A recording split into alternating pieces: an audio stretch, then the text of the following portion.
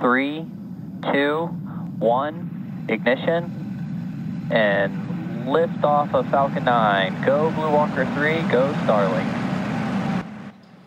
Another perfect launch for SpaceX tonight with a record breaking booster now. The private space company launched another batch of Starlink satellites along with a low orbit satellite. The rocket booster has now flown 14 times. Again, that's a record. And the space company is planning to launch another batch of satellites tomorrow. In case you missed tonight's liftoff for tomorrow night is planned for 1053.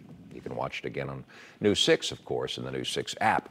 NASA says it has made the repairs needed after its last launch attempt of its Artemis 1 moon rocket, so can finally send its most powerful rocket ever back to the moon. Engineers have replaced the seals to fix a hydrogen leak. They will now spend the weekend inspecting those new seals and seeing when they can try to launch again. Then, as soon as next Saturday, engineers are going to put the repairs to the test. The next potential launch attempt could be Friday, September 23rd, with a two-hour launch window starting at 6:47 in the morning. We'll let you know when NASA makes a final decision.